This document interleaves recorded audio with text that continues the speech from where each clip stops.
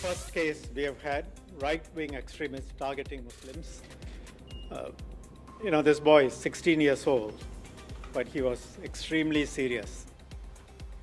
Coming up tonight, how a secondary four student became radicalized online and planned attacks on Muslims in Singapore. Prime Minister Lee Hsien Loong urges restraint and calls on Singaporeans to celebrate Chinese New Year differently this year. And you can now enjoy concerts again thanks to COVID-safe space bubbles. Must say they look pretty cool.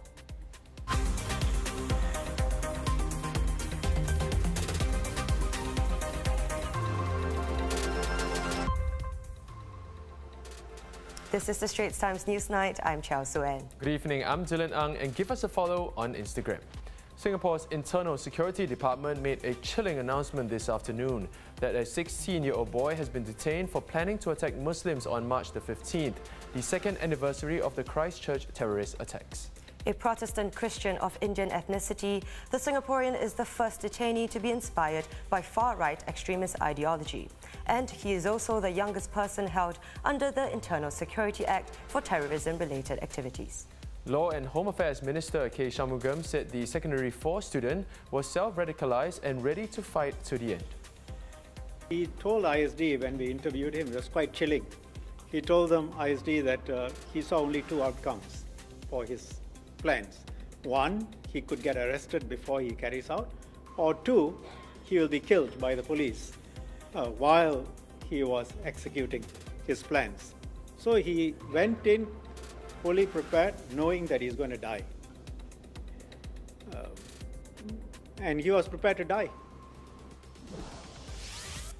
The boy's intended targets were Assyafaah Mosque in Sembawang and Yusof Ishak Mosque in Woodlands because they were near his home. He had conducted online reconnaissance and research on both mosques to prepare for the attack. He had even mapped out his route and bought a flak jacket. His weapon of choice was a machete which he intended to buy online on Marketplace Carousell.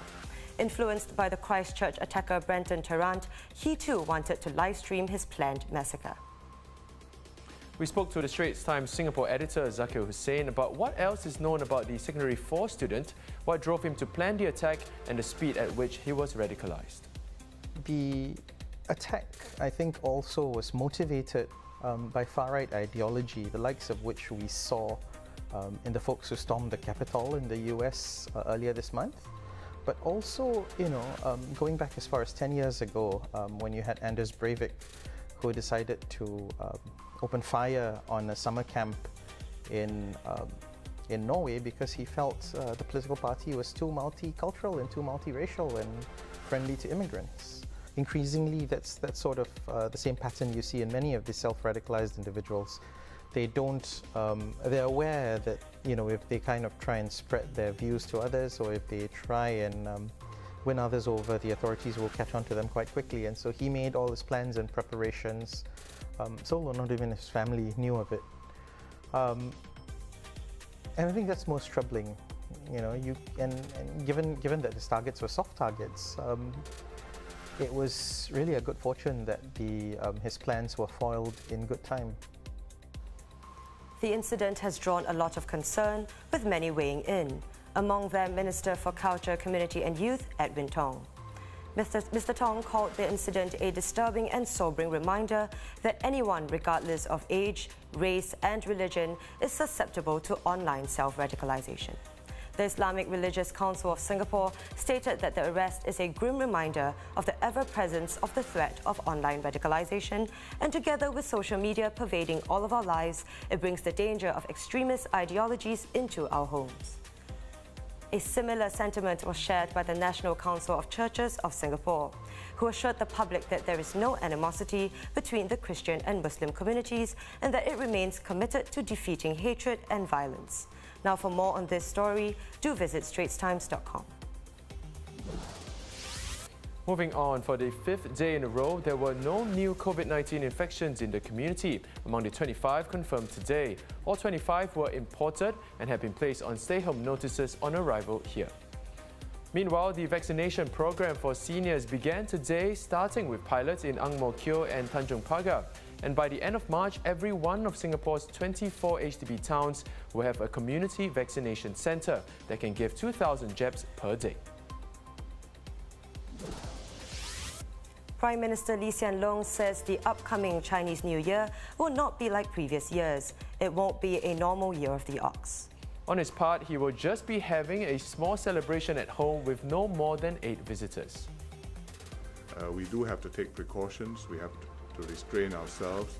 When you lo hei, please do it in your hearts.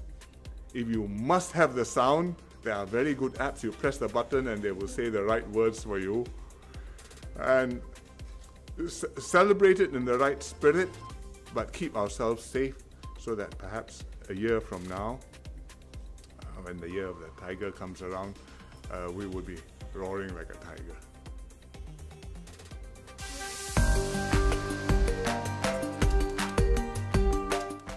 Now let's take a look at what's been trending on social media. Praise for Sheng Siong has poured in online following last night's news that its eligible staff will receive bonuses of up to 16 months. In an internal staff memo sent out last week, the company said the bumper bonus comes after strong earnings amid the pandemic. In an interview with the Straits Times executive editor Sumiko Tan in 2019, Sheng Siong CEO Lim Hock Chee talks about his approach to working with others. 我们最大的成功呢的秘密是人呐、因为在这个世界上呢，除了呃，这个大自然之外，什么都是人搞的。所以这个人如果是没有好呢，事情是永远不会好。所以你把自己做好了之后，成为别人的榜样。所以我们的公司呢，就是以道德为基础，榜样为传承。所以我的秘密是把自己做好了，成为别人的榜样。所以如果同事每个人都做好，成为别人榜样，大家就没事了。You know, Suen, the pandemic has put a halt to many live performances, including concerts. But what if there's a way to attend a concert while being protected? Well, American rock band The Flaming Lips have come up with a creative way to continue putting on live shows by putting themselves and audiences in protective space bubbles. The group performed two concerts over the weekend in Oklahoma with about a total of 100 bubbles, each able to hold a maximum of three people. In case you're wondering, each capsule was equipped with a speaker, fan, a bottle of water, towel, and a sign reading I gotta go pee slash it's hot in here to be shown to stewards, who will then escort them and refill the bubbles with cool air. Honestly, how creative is that? Very creative indeed. Now, US President Joe Biden's Treasury Department is reportedly studying new ways to speed up the process of adding Harriet Tubman's portrait to the front of the $20 bill. The decision to have Tubman, a one-time slave turned abolitionist, replace Andrew Jackson as the face of the note was set in motion in 2016 under the Obama administration. It was then opposed during Trump's. It's important uh, that our notes, our, our, our money, uh, people don't know what a note is, uh, reflect the history and diversity of our country. And Harriet Tubman's image, gracing the new $20 note, would certainly reflect that. So we're exploring ways to speed up that effort. One of the animals at an American zoo found to be suffering from COVID-19 has since been successfully treated.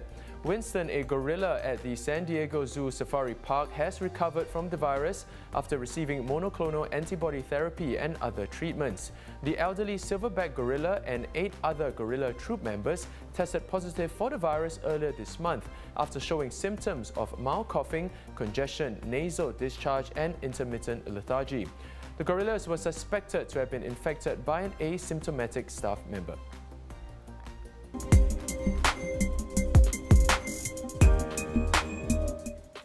Now, in case you missed it, a relatively rare natural phenomenon has been spotted in Scotland. Often called ice pancakes, these naturally occurring discs of ice are found in very cold lakes and oceans, most frequently in the Baltic Sea and Antarctica. Formed when waves jostle pieces of smooth ice against each other, rounding their edges, these pancakes often eventually melt together to form sheet ice. And that wraps up the Straits Times News Night. Do visit straitstimes.com to see more news and videos. You can also subscribe to our YouTube channel by hitting the button below. Have a great evening and we'll see you tomorrow.